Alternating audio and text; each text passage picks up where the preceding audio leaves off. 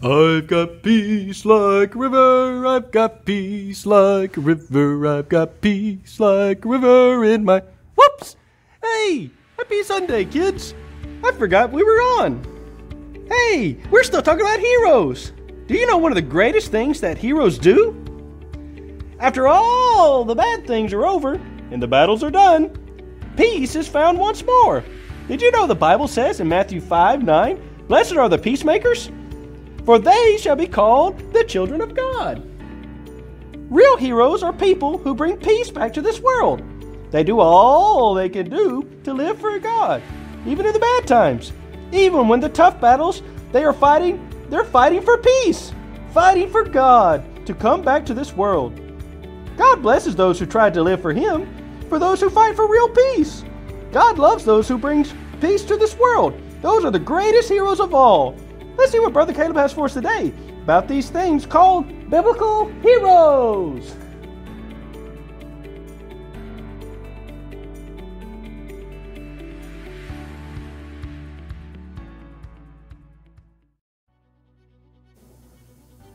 Hey kids, Brother Caleb here. I am so thankful this morning that you have joined me once more for Kids Church Online. Kids, I hope you have your Bibles with you. I hope you found a good place to sit and you're ready for today's lesson. Now, we're talking about heroes of faith, and we've already talked about two. We've talked about Abel, the righteous, the hero of righteousness, who found and had respect of God. Then we talked last week about Enoch. Enoch, the hero of dedication. It takes great dedication to be a child of God, to do great things for God. And that's what Enoch was found. He lived 365 years and then the Bible said he walked with God and then he was not. That means he was picked up, he was transported from earth to heaven without ever having to meet death. Wow. He found the favor of the Lord because of his dedication to the Lord. Wow, that is amazing to me, kids. God is so good to us. He loves us so very much, and He rewards us for our faithfulness. It doesn't always happen the same way to everybody, but God rewards us for our faithfulness. And kids, that's what I hope you, you have found in the Lord. I hope you found a way to be faithful to Jesus this morning. We're going to be talking about several other heroes, but today I'm excited about today's lesson. I am so excited about it, and I cannot wait to teach it to you. But first, before we get started, we're going to get started with prayer because you know what? Prayer is very important. This is one of the ways we can show God our faithfulness to Him is through prayer. And so this morning, kids, let's pray and ask God to bless us and to help us and to learn from His precious book this morning. All right, kids, bow your heads. Our most precious and heavenly Father, Lord, we thank you so much for your blessing towards us, Lord. We do not deserve all the good things you give us.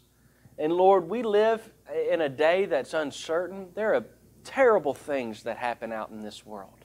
And Lord, we don't understand why they happen, why they're allowed to happen, but Lord, that doesn't matter. We don't have to understand. You see, God, you, we understand today. We, we put our trust in you to take care of us, even though sometimes things go wrong. We believe, God, that you're going to take care of us and see us through. Thank you for Jesus, for dying on that cross, for saving my, my soul from a devil's hell. And Lord, I know I don't have to spend an eternity there now.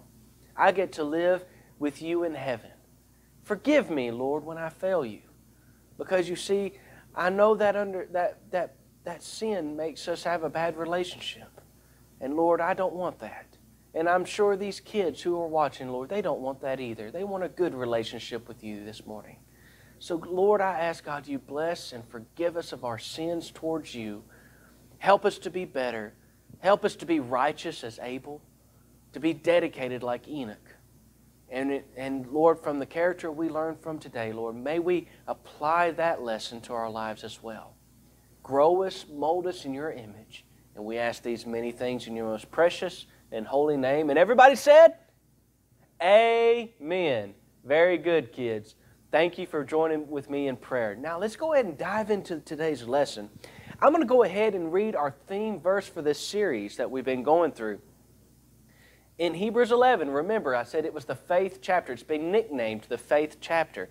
And it has a huge list of heroes that God dedicated this chapter to. God dedicated, God created the Bible, God wrote the Bible. You see, so we he, he made a special section and he started listing names of people who were found faithful in his eyes. And so we have that list to go by. But he started out this chapter with this verse. Follow along. It says in Hebrews 11, chapter, uh, chapter 11, verse 1, the Bible says, Now faith is the substance of things hoped for, the evidence of things not seen. Remember, I said faith is a lot like the air. We, we can't see the air, it's invisible to our eyes. But we can go outside and we can see the wind, we can see the air push the trees. We can see a leaf or something flowing down on the, on the ground because of, of the wind or the air pushing it. Now, we can't see the air, but it, we know it's a substance. We know that it's real. And it's not seen, of course, but there is evidence of things around us that we can find and we can see and we can know that it is there and it is real. That's the same thing as God. We cannot see God. Oh, I wish we could. I wish we could talk to God verbally like I, you can hear my voice. But we can't. That's why God gave us prayer so we could talk to Him that way. That's why we put our faith in God. We can't see Him, but we know that He is real. And I hope you know that God is real this morning, kids. If you don't, we can get that settled we can show you the way how to find Jesus Christ as your personal Savior after this lesson. But, kids, oh my goodness, how great, how great God is to us. And God is the, probably the, no, there's no probably about it. God is the greatest example of how we are supposed to live. He is the greatest hero of our time. But today we're going to be talking about new, another character, not, not just the Lord Jesus, but we're going to be talking about another character that's listed in our heroes of faith. Now, I want to say this this morning. Now, heroes have been around for a very long time. People look up to pe- other people who have done heroic things. The world makes movies about heroes. The world writes and tells stories about superheroes or heroes of this world. And everybody whether you admit it or not. Everybody has somebody in their lives that they look to, and they, they kind of look to them like they're a hero to their lives. They admire who they are and what they have done, and kind of maybe wish they could be like them. Now, that's not a bad thing, and that's not necessarily a wrong thing, kids. But I will say this that there are some heroes in our life that we put in the place, in the position of hero, that should never be placed there. Because sometimes heroes can be turned into idols. And I know, kids, you know what an idol is. An idol is what people bow to and worship. An idol is a bad thing. An idol is a God, a God of this world you can make several kind of idols. You can have an idol in your car. You can make an idol out of money. You can make idols out of anything. And that's why it's very important that we don't take people and put them in the place of heroes because they have that tendency to become an idol. This is why we, as the children of God, we need to look to the right kind of heroes, the kind that will direct our paths in the way of God and to God's people. That's why, kids, I'm trying to encourage you to learn your Bible. Find these heroes of the faith and make your example like their example, to follow their teaching, to follow their paths. Because you see, they, they did good things, and they some of these people have done bad things. Even the bad stuff that they did in the Bible, we can, we can learn from see their mistakes and learn from their mistakes and say, hey, I won't do that for my life for God.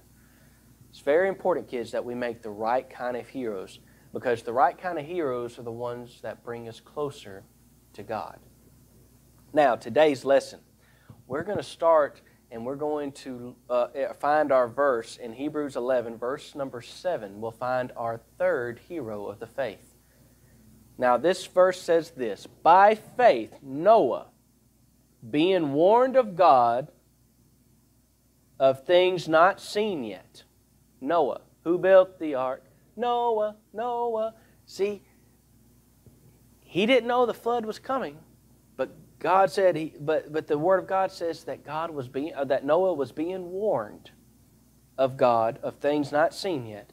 Moved with fear, prepared an ark to the saving of his house, by the which he condemned the world and became heir of righteousness, which is by faith.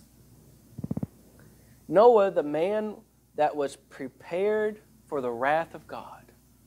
Now, I know most of you probably know the story of Noah, but I'm going to retell it today because I want y'all to get this. You see, Noah was a great man of God. In the days of Noah, God was looking down. He was looking on the earth, and there was many people on this earth at that time, and God was looking down for a righteous man. God only found one. One man that he found faithful and righteous in his eyes. And his name was Noah. He looked down and he was angry, God was. He saw sin everywhere he looked.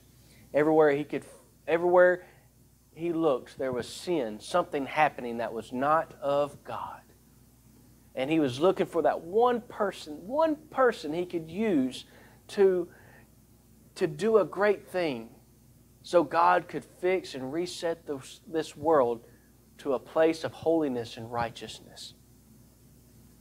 And there was only one man who feared God, and that was Noah.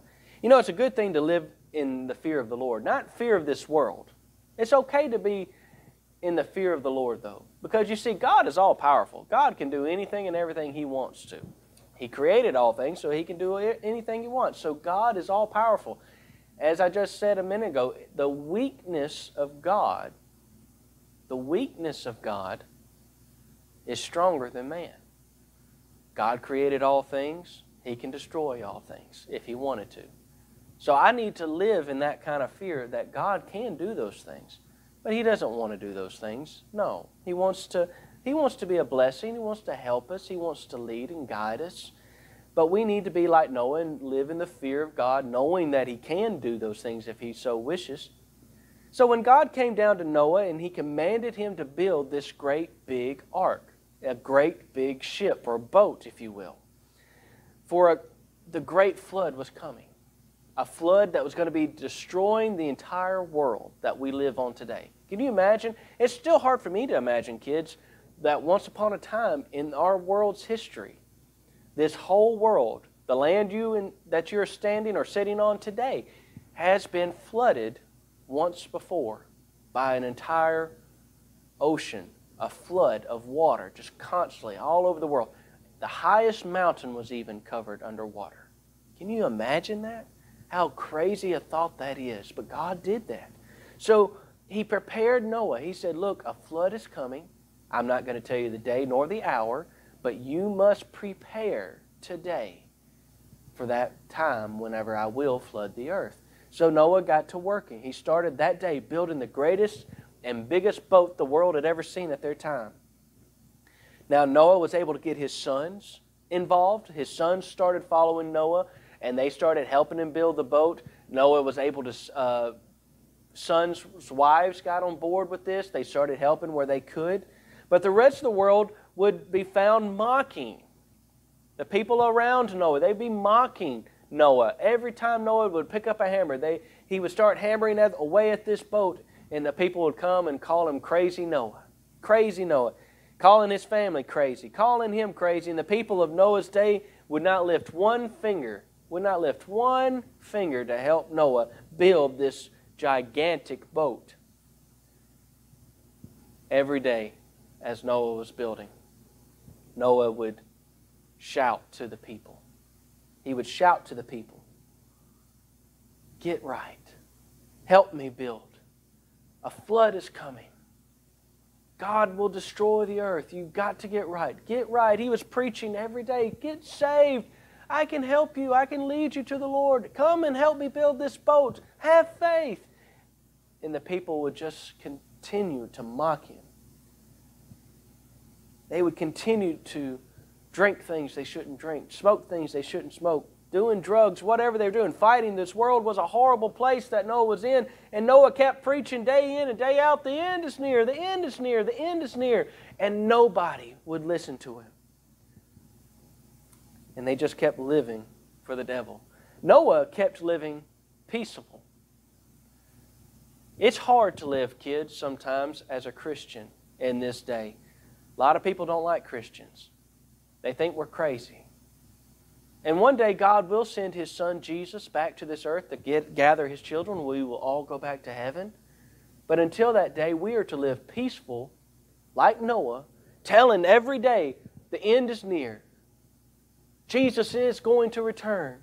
That's the gospel. That's the good news that the Bible tells us to teach. Where it says, Go ye into all the world and teach and preach about the, the Father and about the Son and about the Holy Ghost. We're talking, uh, the Bible teaches us to do those things. And that's what Noah was found doing here, teaching and preaching. The end is near, the end is near. And yet nobody would listen to him, but that's okay. If people don't even listen to you, kids, that's okay about that. It's not, it's their choice. But it is also our choice to continue to live peaceful in the eyes of God, doing what's right, telling people about it, if they don't get saved, they don't get saved. But we, as Christians who believe, have to continue to live right for God, no matter what. No matter what the world may say, we have to continue to build on our arks because one day the Savior is going to come. He's going to send another, he's going to send a spiritual flood to this world and he's going to destroy it. On the final day of Noah's accomplishment on building this great, massive boat, this great ark. God started sending the animals of the world towards it. There's a huge door on this boat, and it let down, and, the, and God started sending the animals two by two one male, one female of the same species. Every animal on the earth at that time went on that boat. That way, whenever the floods were gone, that the world would be repopulated with these animals. That's what they were there for. But so that God sent Noah to build this ark to save these animals. And when the final animal was on that boat, God Himself reaches down and shuts the door. Not Noah, no other man, no animals, God shuts the door on that boat. When God shut the door, Noah's family was in Noah and his wife was in there. Noah's three sons and their wives were on the boat. And then the rains began to come. Little by little. One drop, two drop, and then a big rain just started to come all over the world. And the people around them, they were like, oh, this is nice. We haven't had a rain in a long time. But then they realized it's not stopping. The rain is not stopping. And it just kept going. Day one, it would rain. Day two, day three, day four, day five. And it just started, kept raining, kept raining. But listen, kids, it didn't just rain where they were living. No, this entire world got flooded. That means every, this, this world's in a circle. That means every part of the circle of the earth, rain was falling down, continuing to, to raise the water level to a, to a place of filling up the entire world to the tallest mountain on this planet.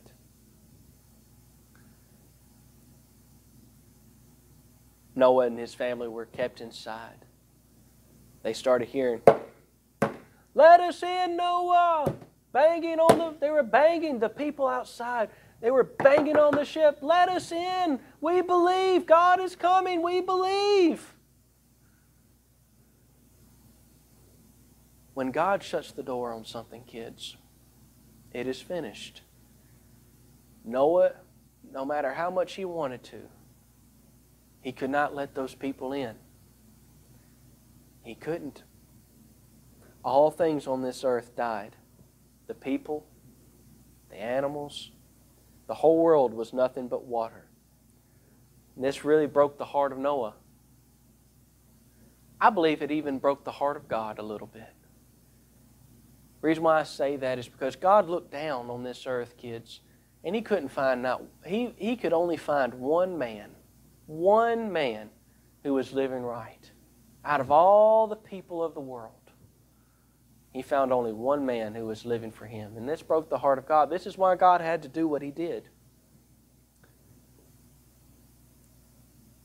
Noah was found faithful to God because, and because of that, God spared him and his family in the waters. After 40 days and 40 nights, the waters started to go back down. Little by little, day in, day out, day in, day out, the waters would start trickling down. And finally, enough land came to be where the, where the boat landed on, on some ground. And God once more reaches down and He opened the door of the boat. And the animals started coming off two by two, going their own places and ways, and repopulating the world. And Noah the man of God, the man of faith, he gets out himself, him and his children, and they build an altar unto the Lord to give him thanks for the safety. And God placed a rainbow, a seven colored rainbow in the sky. The rainbow has taken many meanings in today's world.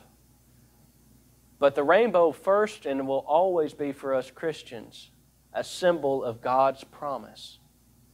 You see, you see, kids, the rainbow that we have symbolizes God's promise to us that He will never, ever flood this world again. He will never destroy the world by the ways of a flood again. That was God's promise. That was His stamp of approval saying, It is finished and it won't ever happen again. And he gave that rainbow to Noah and to the world to know that promise forever. Now, we have taken that promise and we have corrupted it in today's world, but that's what it means, kids. It means a promise. Okay? And peace once more was brought back to this world. Because of the faith that Noah and his family had in the Lord, peace was given back and was found again once more on this earth. Noah wasn't a perfect man. No, he wasn't. He was just as much a sinner as I am. He was just as much a sinner as you are. He was a human being. He made mistakes. But Noah was, was uh, wanting to be used of God. He was wanted to be used of God and live for God, and God found him on this earth and he saw that Noah could be used, wanted to be used, so he used Noah to physically build an ark so that once again peace could be brought back to this earth. And Noah and his family, they helped repopulate the world. God used him once more for peace to be brought back to this world, and we can be used of God if we're found faithful as Noah was. Did you know that, kids? We can be used of God to help bring that same peace back to this world if we would only live faithful to Him. Let me ask you that. Could God use you like Noah? Could God use you like Noah? That's a good question to ask yourself this morning. Praise God for peace. Praise the Lord for peace. Peace is so needed in our world today. We all need to, to do that. Live peacefully with God. Noah is a great hero of the Bible, and there are many more for us to learn about. Noah is a great man of God. And kids, I hope that you will, I hope, kids, that you will listen to these heroes and make some of these people your heroes to live by, to learn from, and to want to be like. Because God did great and mighty things through these men and women that we're going to be talking about. So, kids, I hope you have a wonderful week. Let's first end with prayer, okay? Dear Heavenly Father, Lord, thank you so much for this day you've given us. And Lord, we need your blessings and forgiveness. Help us, O oh Lord, to be more for you than we've been before. Lord, help us to be like Noah. Noah was just a simple man. And Lord, he was asked to do a great thing for you. You asked him to build a great ark, and he did. And Lord, he, you, you asked him to tell people about you, and he did that. Even though the world did not heed his warning, Lord, he still tried his best to serve you. And Lord, we ask God that you help us to be like him, to be, be keepers of peace, be peacemakers, Lord. We need to be that, Lord, so that you can get the glory of all things. Forgive us when we're not. Forgive us when we fail you and sin against you, Lord. And now, Lord, I ask God that you bless these kids this week. Give them a good week, Lord. Protect them, Lord, from all harm. I know they're going to be starting school soon. And Lord, may these teachings that they've been receiving on these lessons, Lord, be uh, taken and applied to their lives. Help them to be a Christian when they go back to school, to hold their testimony high. And Lord, protect that testimony. Let them, let them show the world that they are a Christian, that they love you, Lord. Help them to be the heroes of the faith of this generation. And Lord, we ask God these things in your most precious and holy name, Lord. Amen. Kids, I love you. God loves you this morning. I hope you have a wonderful week. Pray for one another. Pray to God that you will find these heroes to your liking, that you may apply their, their stories to your life. These are great heroes, guys, and I hope that you find one and you make one of them your heroes. How about making God first your hero, though? He'd be the best one to make your hero of today. All right, kids, you have a wonderful week. I'm praying for you. If you need anything, please let us know. You have a wonderful week, kids. Bye bye.